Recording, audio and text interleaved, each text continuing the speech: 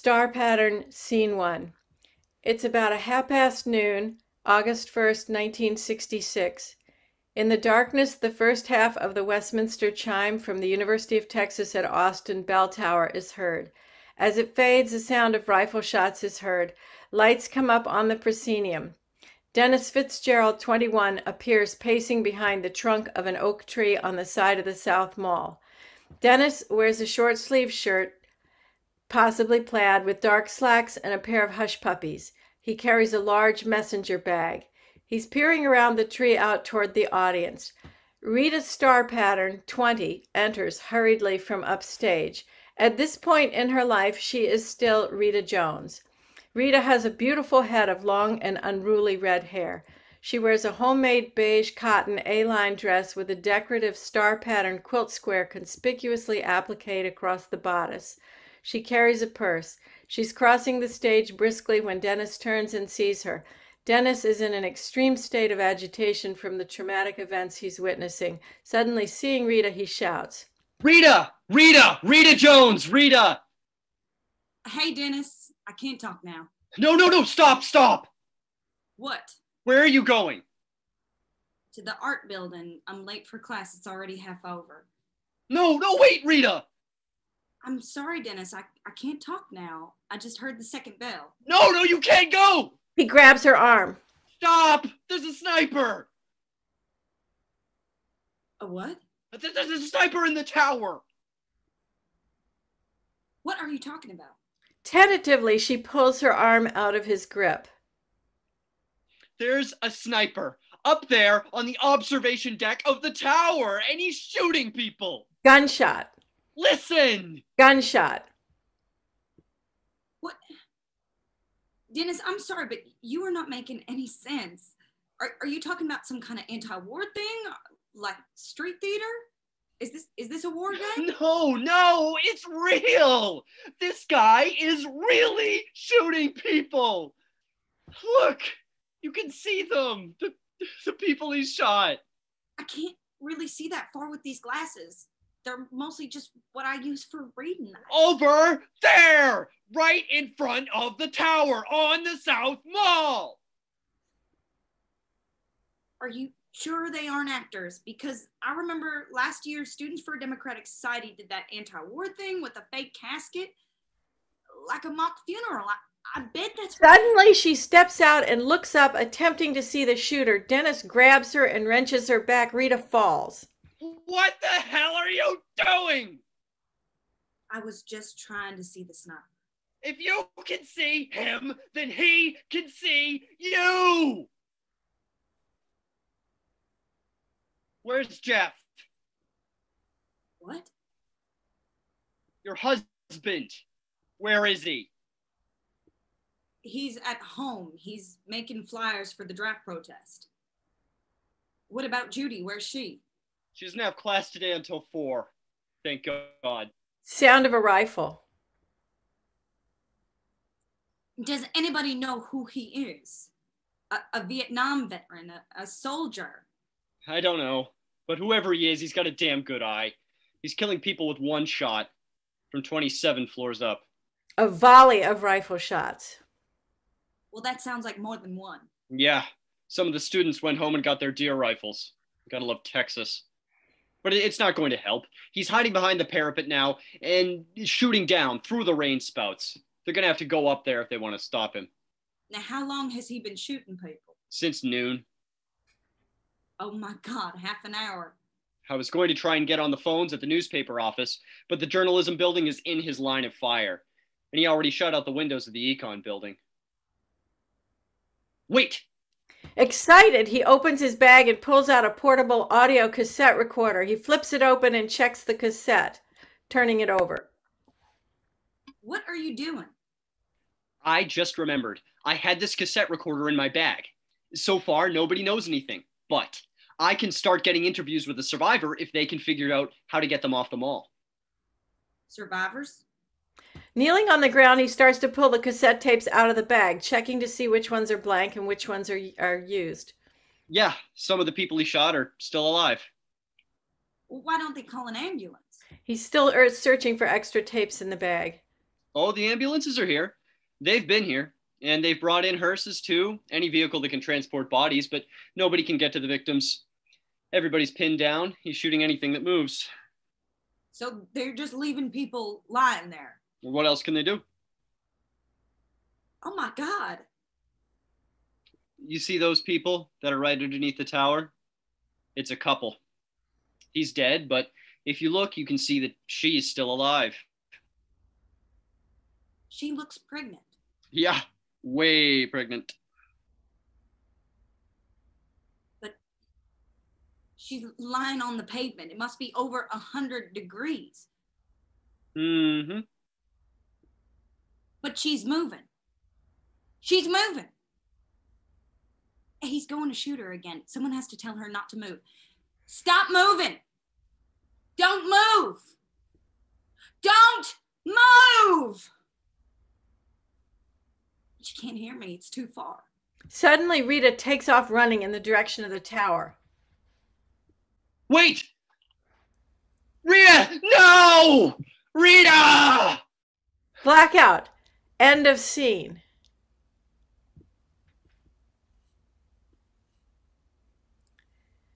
Scene two.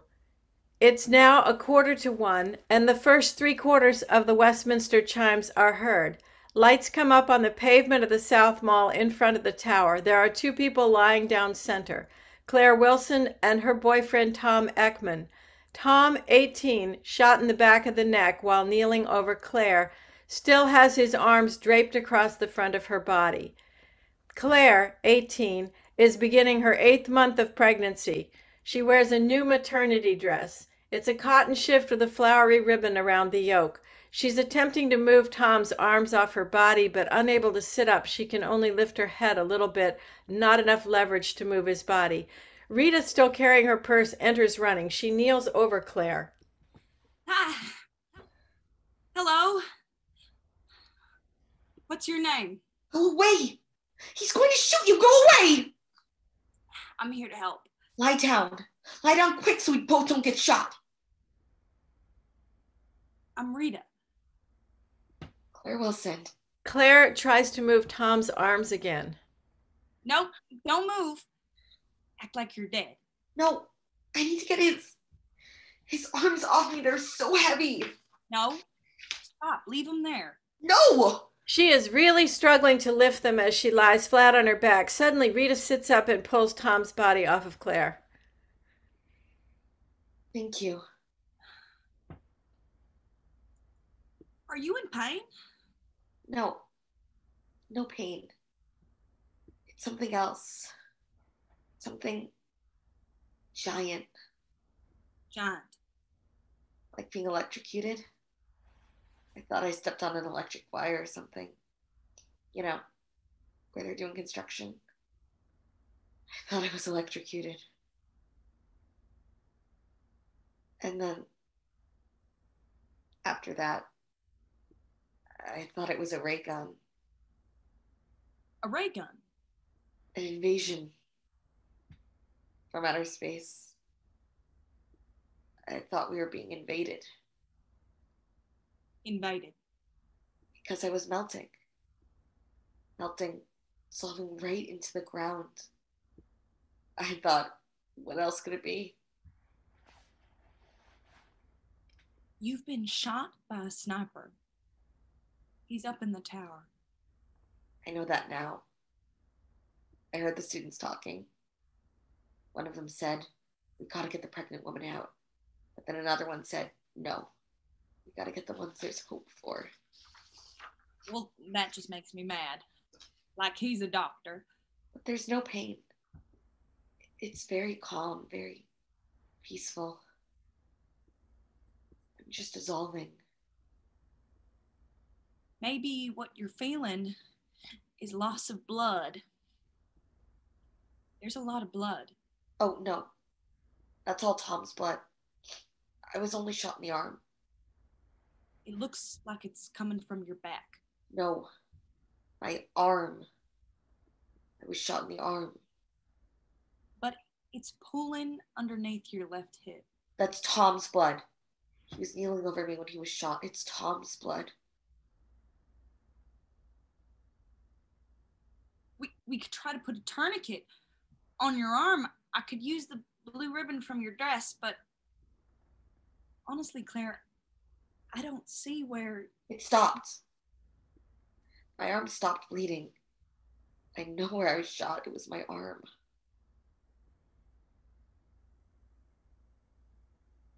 Okay.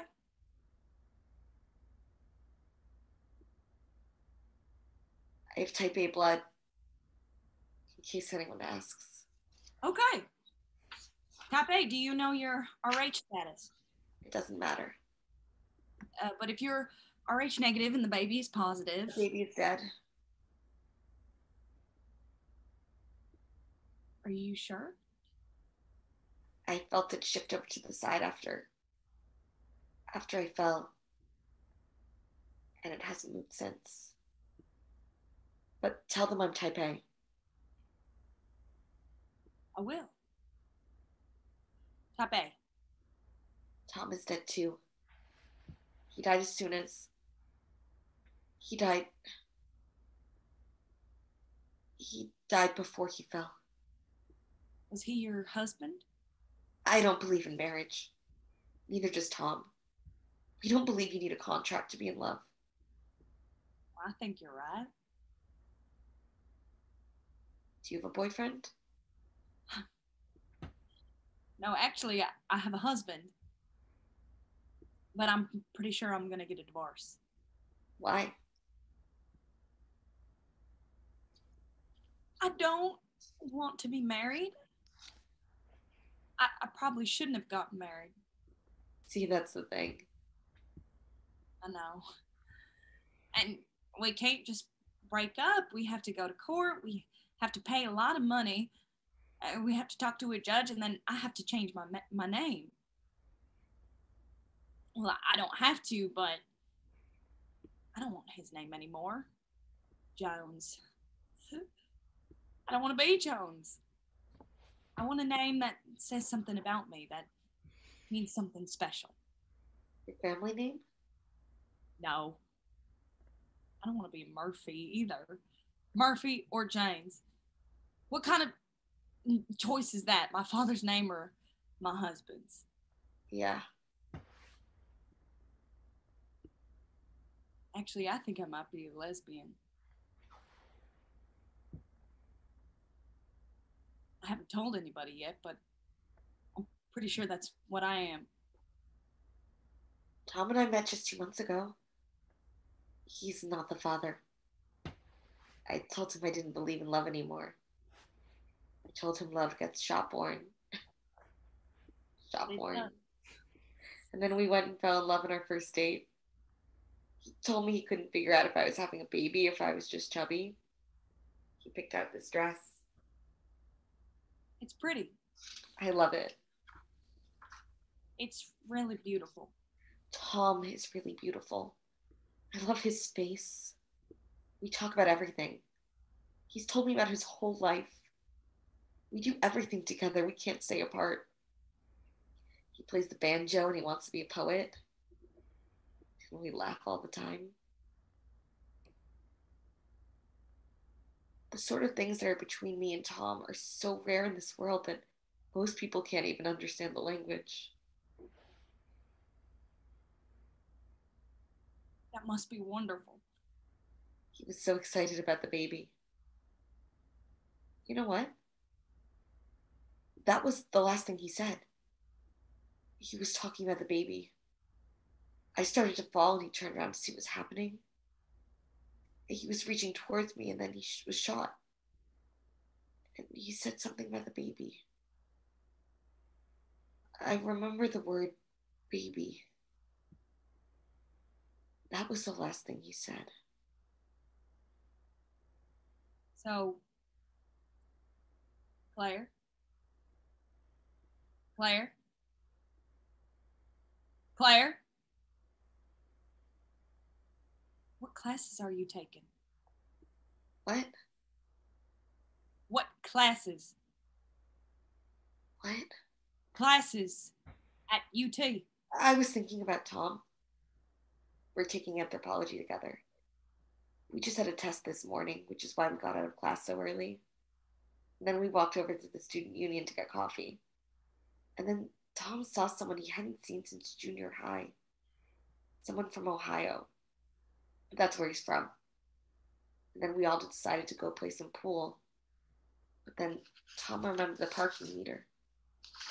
We'd only put enough nickels in the meter to last through the exam. That's why we were crossing the mall. To put another nickel in the meter. That's when it happens. Oh no. See, that's Tom. He was thinking about how if you get three pink slips, they won't let you park your car anywhere on campus. And we'd already gotten two.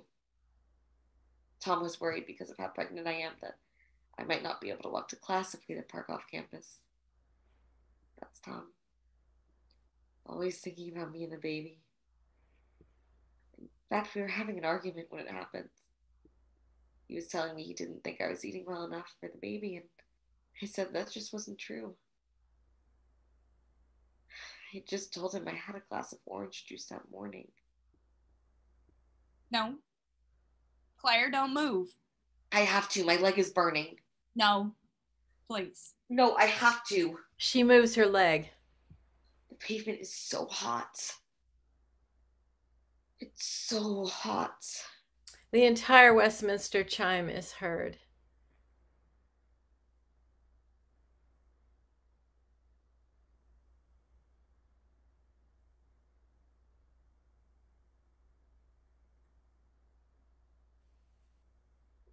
That's the third time. It's been 45 minutes. You should lay on your back. It's not as hot. I can't. Are you shot? No. But I think I would be if I turned over. Why? This dress. It's so stupid. I hate this dress. My mother made it. I only put it on because everything else I have is in the laundry. But it's got this big old quilt square on the front. Right over my chest. It's like a target. I feel like I have a target stitched on my chest. Let me see. No. What if he sees? Just turn over a little.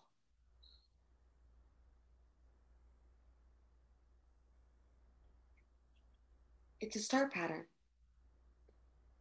What is? The quilt square. It's a Lakota star pattern. For the morning star. How do you know that? Does your mother sew? My mother? She's a precinct chair for the Democratic Party. In my house, we measure time in election cycles. But my, my grandmother was a quilter. My father's mother. She tried to teach me. But the star pattern is very sacred. The Lakota used to paint the star on their buffalo robes. But then the buffalo were gone, and the missionary wives started teaching them how to quilt. And they started sewing the star pattern. Now they give star quilts instead of the buffalo robes. It's a big honor. The only thing my mother told me about was that it was a bitch to sew. One wrong stitch and it won't lay flat.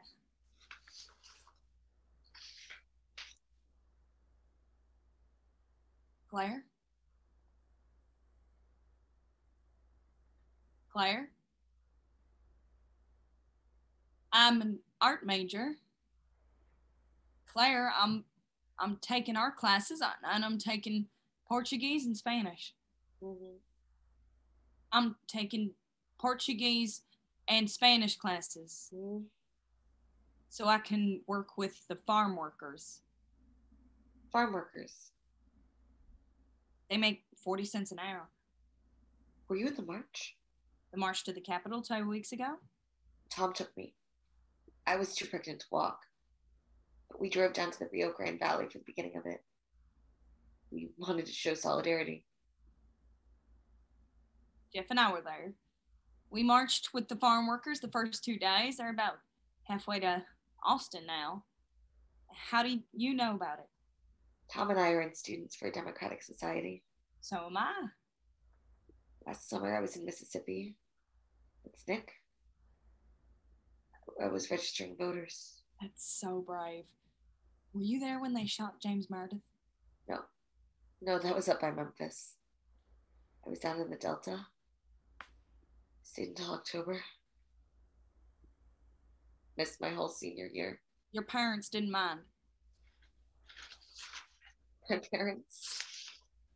Want to know about my parents? Do you know about the Piccadilly protests? The sit ins at the cafeteria in Dallas? The summer I was 16, my mother drove me there every day. We wore our little pillbox hats and our little white gloves. We would go and just sit there. Sit there for hours and not order a thing. Every single day for a month. You know something funny? I really thought I would be shot last summer. Shot on some backwoods road in the Delta. I thought about that every day. Look at that. The sky is so blue. Not a single cloud. It's the bluest thing I've ever seen. So blue. I can't take it anymore. Claire. No. No. Claire. Don't. Stay with me. Please. Claire. No. Can't. I'm done, Morning sir. I'm done.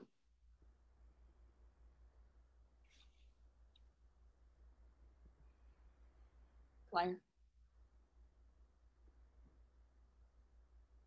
Claire.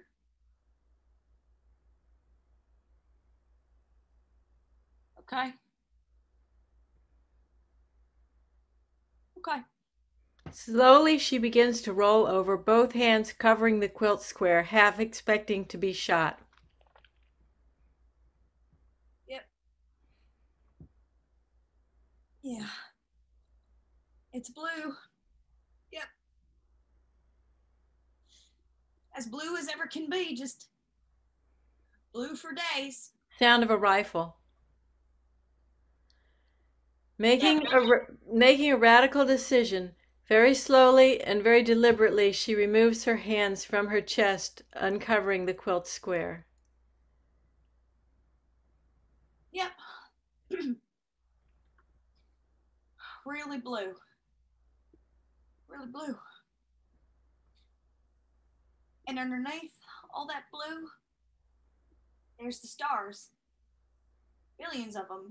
We can't see them, but they can see us because they don't have any night and day. Another rifle shot. Really blue, really, really blue. But those stars are there. And they can see you, Claire. And they can see your baby and your boyfriend. And they can see us.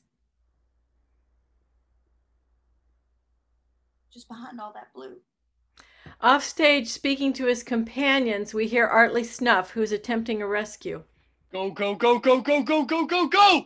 Claire. Claire, there's some guys coming to get you. Claire, you're gonna live. Blackout, end of scene.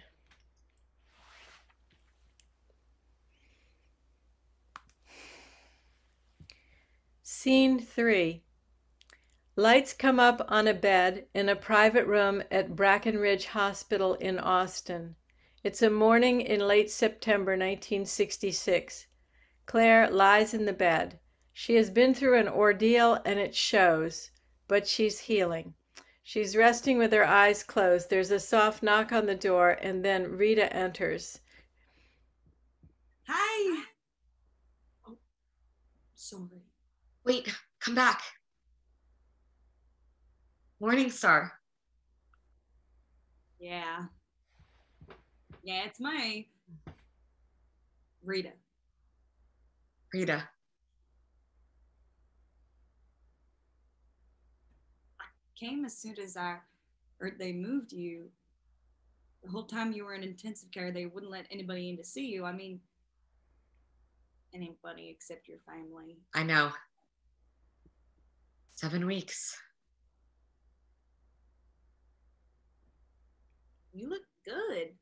So do you. So guess what? What? I wasn't shot in the arm. Yeah, I, figured.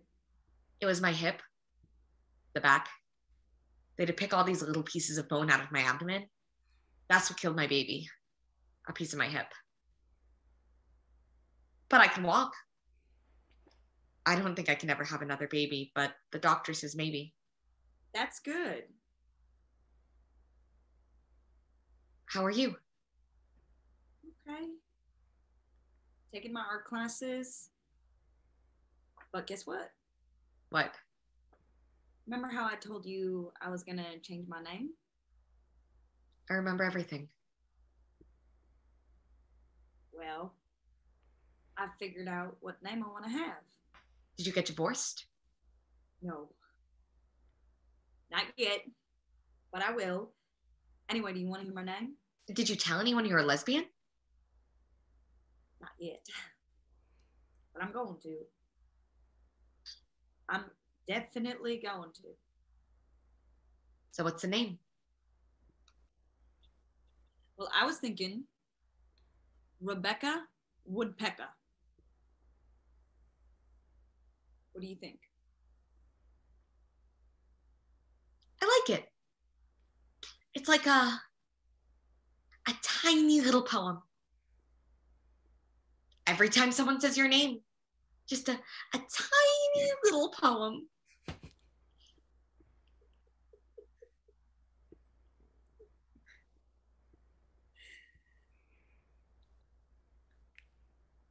Rita Starpattern. What? I'm gonna be Rita Starpattern. Wow. You know, like the star quilts. You could be Rita Morningstar. Now I'm, I'm gonna be Rita Starpattern. There's a pattern. Instead of a family, I, I don't want to just be out there by myself. You know, drifting out in space. I, my life has a pattern. And it's made up of these pieces that may look random, um, but that's only if you don't know the pattern. And the pieces are all parts of who I am. I don't have anything to do with that, but it's my job to figure out how to fit them together into the pattern because my life has a pattern. I know it does. I just have to put it together. That's a lot of pressure. It's a challenge, but I like a challenge and I can already see how it's coming together. But me being married, that just messes with the whole thing. It won't lay flat. It won't lay flat. Rita Starpattern. You saved my life.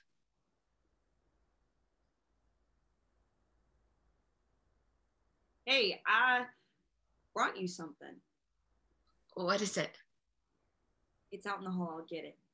Rita exits and struggles back in with a huge painting wrapped in a bed sheet. It's four by four.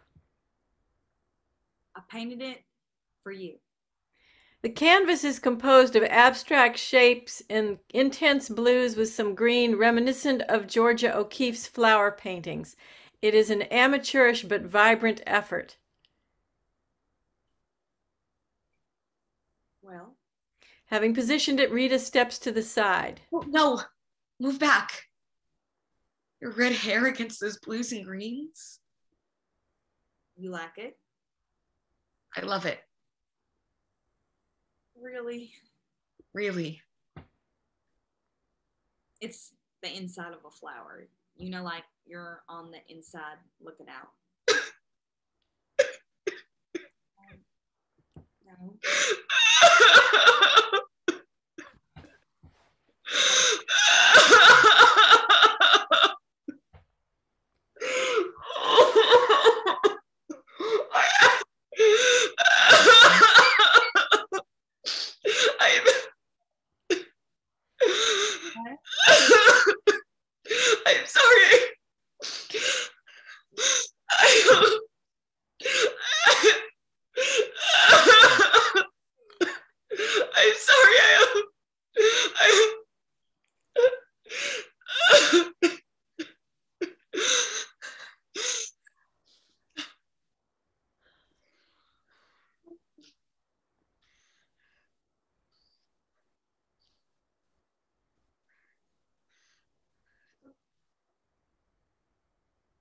Blue.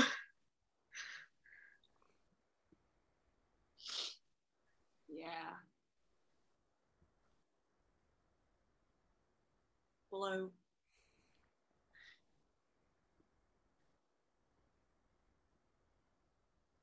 Are you sure you like it? Because I can take it with me. I love it. Suddenly, the distant sound of the full Westminster chime from the tower is heard.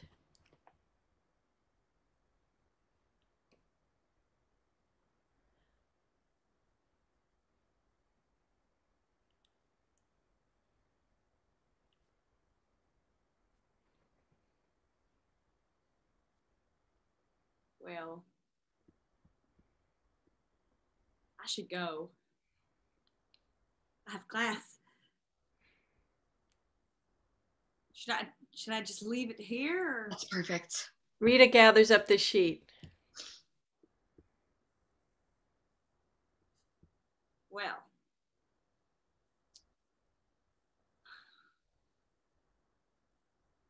see you.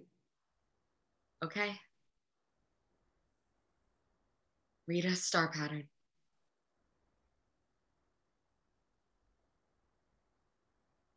That's me. Rita exits. Claire closes her eyes again. Blackout. End of play.